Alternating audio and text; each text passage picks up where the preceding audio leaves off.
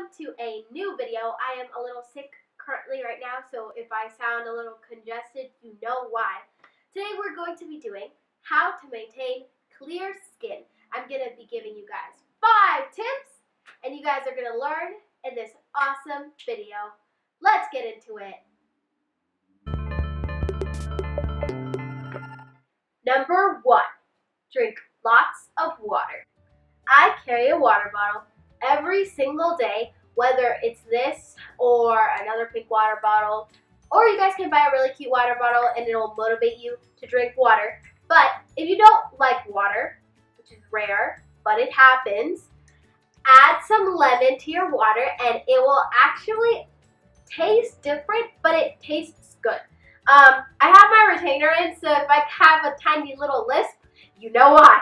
Um, I have here a list of benefits that lemon water gives you. So it gives your immune system a gives your immune system a boost. So vitamin C is in lemon water. So lemon juice is full of potassium. It helps you aid digestion, digestion, retainer. Okay, cleanses your system. It also freshens your breath. Um, it keeps your skin blemish free. So if you want clear skin, drink lots of lemon water. It's obviously not going to clear your skin at all, but it definitely gives your skin a nice glow and it helps you lose weight. But it doesn't really help you lose weight. If you work out and drink lemon water, definitely will help you lose weight. And it reduces inflammation. So if you have red skin, it'll reduce that. And it's really good. Once you wake up, drink cold lemon water. Oh my gosh, so good. It'll help you wake up and it gives you the energy. Um, number two, stay away from junk food. Um, I'm a little hypocrite because I can't stay away from junk food. But if you really, really want to sacrifice that junk food for that clear skin, do it. You are what you eat. I eat junk food. I also sometimes try healthy food. Sometimes. But I like to keep, if, if, if my skin is like on the verge of breaking out and about to pop a bunch of pimples, I will definitely, definitely sacrifice the junk food. I sacrificed chocolate. I do not eat chocolate. I say I don't like chocolate, so my friends don't give me chocolate. So it doesn't, because if I eat chocolate, it'll, I'll break out the next day or two days, and it's definitely 100% I will break out. And I've heard that food stuff is a myth to your skincare, but I don't think so. I think whenever I eat chocolate, boom, a pimple pops up. So instead I say I don't like chocolate, so people don't offer me chocolate. And then I sacrificed food. Well, I sacrificed chocolate. So yeah, stay away from junk food. Don't eat it too often, but if you want, eat it sometimes, you know? Number three, wash your face daily. Um, I like to do a skincare routine every single day. I like to pamper myself. I actually have a skincare video up on my channel, so you can go click that. I'll leave it in the description box below.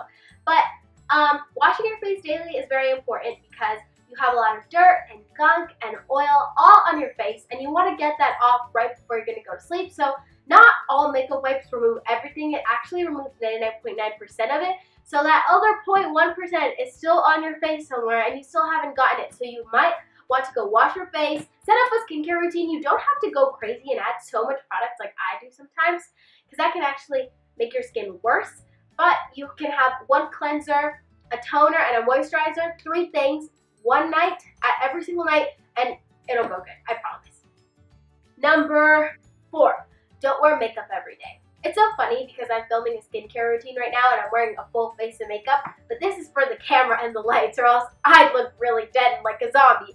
But if you don't wear makeup every day, you're gonna let your skin breathe and it's gonna be fresh. I like to give my skin Saturdays, only Saturdays, um, days of no makeup. But then if I have a break, like spring break, which I'm currently on right now, I like to not wear makeup at all. At all. Just be barefaced because it's good to show your skin and it's nice to let your skin breathe. Because if you take on that makeup every single day, it's just going to make your skin feel worse and tight and clogged up and pores. So you want to make sure you're washing your face and you're letting your skin breathe. Number five, don't touch your face. It's very, very important to not touch your face because, let's say I am in class. My hand is right here. I'm not going to touch it right now, but let's say I'm touching it. All day, I've been touching books, I've been hugging people, I've been touching counters, I've been in the bathroom, I've flushed a toilet, I've done so many things, and all that bacteria is in these hands. You are in control, my people. You're in control of touching your face, and you're in control of how much bacteria goes onto your face. Because if you are that type of person who touches her face a lot, then you're gonna wound up having a lot of bacteria on your face, which is gonna cause acne or pimples or blackheads or whiteheads. The bacteria on your hands can lead to breakouts. Also, your phone, which is crazy because young generations don't really talk on the phone much, so you're usually right here. But let's say you are on the phone, your phone was on the toilet, right? Or like on the side, on your desk, on your bed, and you put it right here, and it's like bacteria all over here. Or your pillowcase is also full because let's say, like me, I have curly hair, but I have straight hair right now. But let's say I have natural curly hair, I do. Um, natural curly hair, and I put products, and then I slept in my pillow, and then boom, turn to the side. And then your face is full of that stuff, and it's all gunky bacteria stuff. So you have to wash your face, and you have to wash your pillowcases, and your washcloths because you're drying your face after you wash your face, but that can also have bacteria and other bugs. But remember, you are beautiful whether you have nice skin or not. It's honestly just about your personality, and skincare is such a hard topic to talk about these days because some people can't really even look at themselves in the mirror because of how much stuff is on their face, but you are in control of how much things you put on your face, if you touch your face a lot, all that bacteria. It's very important to just love yourself whether you have nice skin or not because we all have those days where a few pimples pop up and if someone comes up and tells you that they have perfect skin, they're lying because not nobody has perfect skin and everyone has like problem areas like me, it looks like I have clear skin and the number one question I get at school is probably how do you keep your skin so clear? And it's I drink a lot of water and I wash my face and I try not to touch my face at all. But it's really hard and it's not like I have clear skin. I have breakouts sometimes, most of the time.